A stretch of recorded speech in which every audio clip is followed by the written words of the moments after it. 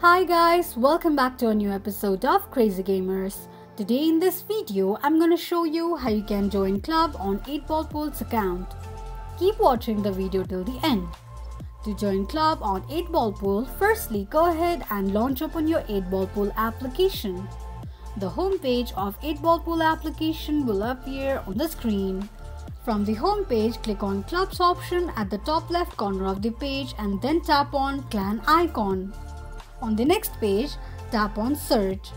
Search for the club that you'd like to join and click on Join option right next to your club's name. This is how you can join club on 8 Ball Pool's account quickly and easily just in few steps. If you have any thoughts or queries, let us know in the comments section. Don't forget to subscribe to our channel. Also, press the notification bell icon so that YouTube will notify you whenever we post a new video. I hope this video was helpful to you. Thank you so much for watching.